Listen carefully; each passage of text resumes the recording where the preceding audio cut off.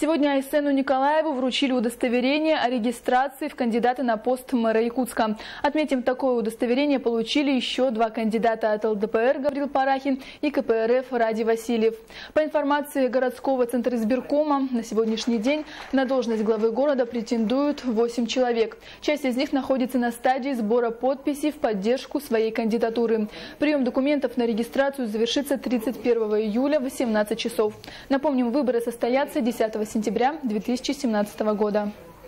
Для меня это очень большая ответственность, в первую очередь, ответственность перед всеми жителями города Якутска, перед теми, кто э, поддерживает меня э, на этих выборах. Э, я иду на выборы с пониманием того, что нам надо делать в городе, чтобы жизнь здесь становилась лучше, более быстрыми темпами. Мы понимаем прекрасно те проблемы, которые сегодня есть. Э, конечно же, главная э, моя опора, это, я всегда говорил, это жители, их мнение.